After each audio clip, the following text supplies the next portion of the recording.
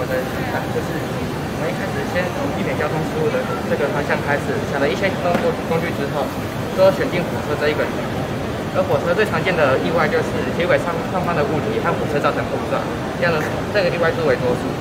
这门感测方式有，铁轨的感测还有探路车这两种。这个铁轨的感测就是在铁轨上方布满感测器，这侧上面有有无物体，但这样由于成本太高，以及容易在两个感测器之间掉落物体，这样感测器不会注意到。所以我们改用探路车这个方式，探路车这样车门较低，因为只有一个赶车器，它会在火车前方六百公尺处进行赶车。如果赶车到物体的话，就会。用线连到火车的荧幕上方，然后对火车发出警告。你的探路车上方本身也具有绿灯及红灯两种方式，也可以让周遭的人注意一下有火车即将过来。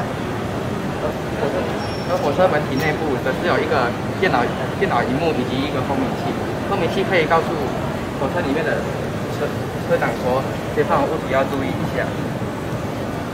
那这边小警报，那灯光就是有。危险的红灯，安全的话就是绿灯。然后还有声音已经图像，图像就是整个电脑屏幕。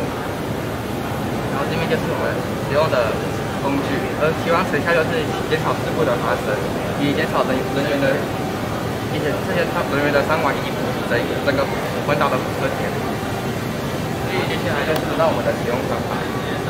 那那是我们的车子的雏形，而在。那前端这个超音波距离感测器就是来测前方是否有物体。如果说有物体的话呢，那连接到火车火车这边的蜂鸣器就会开始这样来提醒列车长需要注意需要注意前方有物体可以停车。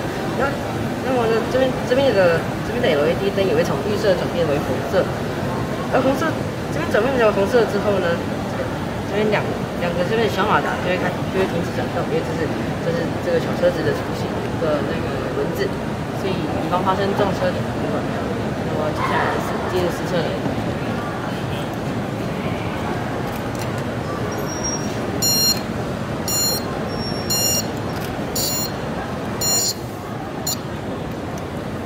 看，现在现在前方并没有物体了，那么就会显示安全。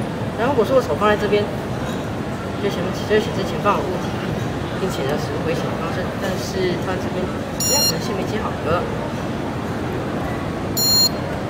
这边显示危险之后，蜂鸣就会开始鸣叫，并且呢，小马达就会停止转动。这边这边 LED 灯也会转变转变为红色。如果说从这时候手放开，看这边蜂鸣器就蜂蜂鸣器就不鸣叫，并且它这边也变成了绿灯。而这边小马达也继续转动。以上是我们的报告。还有另外还有这边，因为这边可以调整视距，这边设定前方五十公分。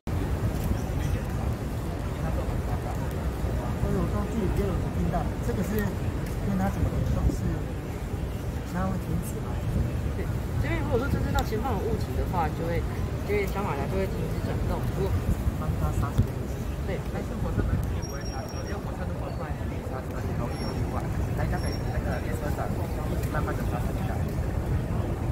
那这是模拟什么？这是模拟，就是模拟探路车的轮子。是探路车。所以你这个是探路车，对不对？对，前面这是一台探路车。然后它会自动停止，因为它感测到有那个，对。然后之间之间的六百公尺就是可以让火车一个缓冲的时间。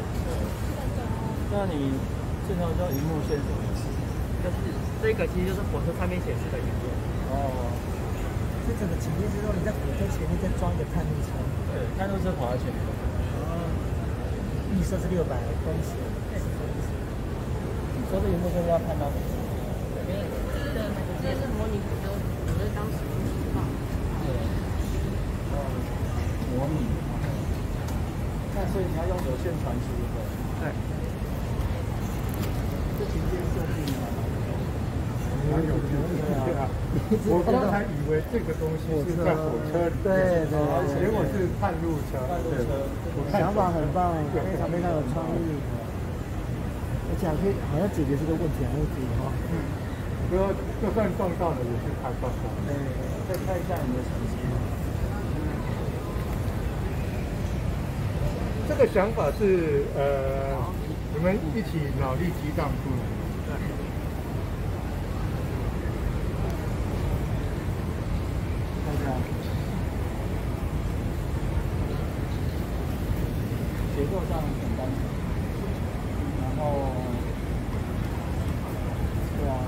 我们选择按照，如果，从选危险或者是安全，乘客安全，对啊，这这是给我哥看，那个那个司机看，是因为车到往安全方面。